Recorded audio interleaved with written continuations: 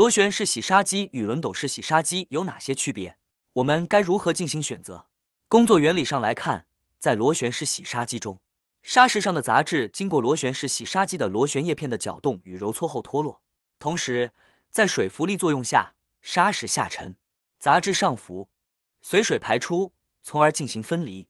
轮斗式洗砂机则是经电动机减速机驱动叶轮不停的反复转动淘洗，将砂石中的杂质洗去。